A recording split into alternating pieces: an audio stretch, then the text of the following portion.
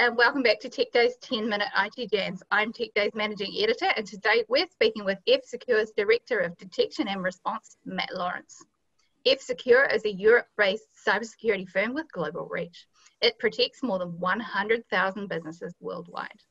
The company's research arm, F Secure Labs, publishes reports and advisories about today's most pressing threats. We'll be talking about one of those reports today. Welcome, Matt. Thank you. Delighted to be here. Okay, so let's get stuck into this. For people who are not familiar with F-Secure, what are your key products and offerings? Yeah, well, F-Secure has existed for over um, 30 years. Um, we are a, a cybersecurity company. Um, uh, some of your viewers may well be aware of, sort of F-Secure's fleet of uh, internet security products, um, uh, and you know through which we protect you know hundreds of millions of consumers. Um, but we're also trusted by organizations around the world for which um, cybersecurity is absolutely critical. And you know, predominantly that's through our um, consulting business units and our managed detection and response business units. And centrally, we exist to, to build trust in society and to keep people and businesses safe. Brilliant. So let's get into one of your most recent reports. Uh, we will publish a link to this in the story once it goes live, should you want to read about read about this report.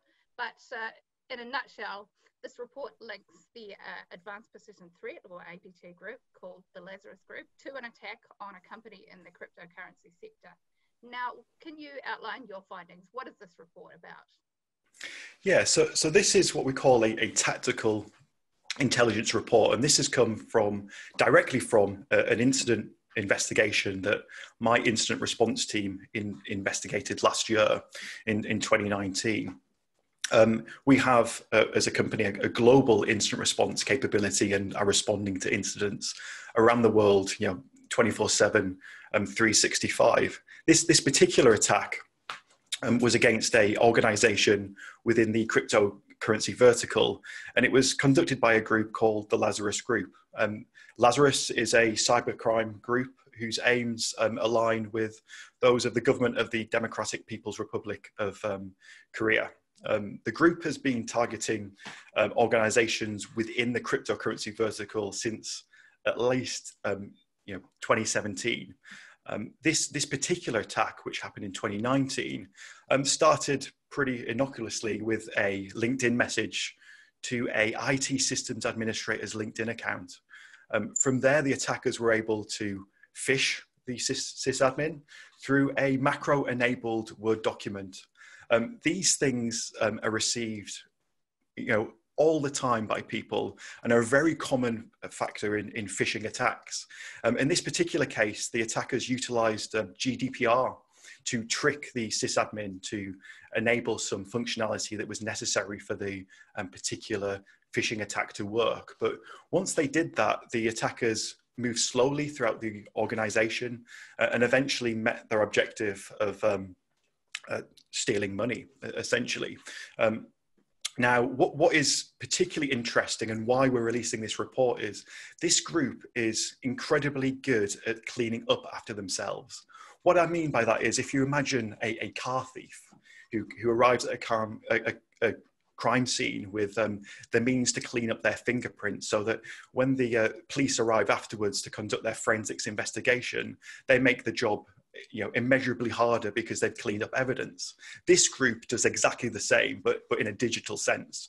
And they're very careful about what they do and how they do it and such that it means that when companies and, and capabilities like our instant response team come to investigate them can often be very difficult to understand exactly what they have done. In this particular case through some pretty special um, forensics work and also through some fairly fundamental mistakes that the group made, we were able to uh, completely pull open this attack from start to end. And therefore, we felt it was essential for us to share this intelligence, which goes into some technical detail in the report because it's designed for technical people, threat intelligence people, security operations people to, to uh, consume it and apply it to protect their networks. But you know, as well as cleaning up after themselves and us, um, you know, providing this resolution of what this group's doing once they're inside an organization. The phishing campaign connected to this, we found, has continued into this year. Uh, and in fact, we found links to suggest that they've targeted at least 14 countries with this campaign, uh, and that continues. So, really, this report is all about stopping this group from being as successful as they have been. Brilliant. Okay, so you mentioned that uh, mm, possibly connected to uh, Korea.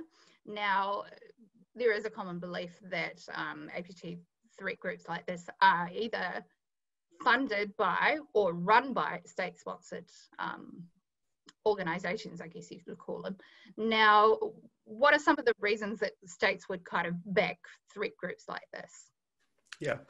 Um, good question. There are various motives. Um, in this particular case, um, in the case of the Lazarus Group, um, a United Nations report um, published last year estimated that the uh, North Korea hackers had stolen more than 2 billion US dollars um, for the regime in a series of um, cyber attacks. And according to the UN, the money is being fueled into the regime's missile development programs.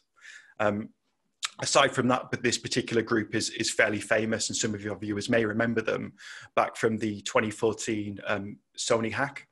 Mm which was done for you know to make a political statement so th- there are various motives to why groups like this would behave but in this particular case there is some fairly substantial ones and, and also just to connect this to the um, cryptocurrency vertical this particular group between 2017 and 18 it is reported that they're responsible for around about 65% of the total cryptocurrency stolen in that period so they have fairly substantial operation um, and capabilities wow wow Okay, so readers who look at this report, what are some of the findings they, they should take away from this? What are the key lessons? In, in a general sense, um, it's important that viewers understand the risk that phishing presents um, in, in today's cyber threat landscape. Whether you're being targeted by nation state actors or otherwise, phishing still remains the prevalent means of, of access into organizations. The um, recent um, Verizon data breach report estimates that around about 80% of reported incidents start that way. It's really important that your viewers are vigilant when they're, they're um, you know, working with email, um, you know, and, and understand that attackers will leverage fear in this particular case, the attackers talked about GDPR, but we've also, also seen many, many examples in recent months of attackers utilizing fear connected to COVID 19, for example, to trick users into clicking those links. And it's really important that users are, are vigilant and you know, maintain uh, access to latest advice around these types of threats. In this particular case, connected to this particular incident, what we're looking to do is to help targeted organizations to protect themselves better and ultimately raise the cost of operation for this group. Yeah, yeah, yeah.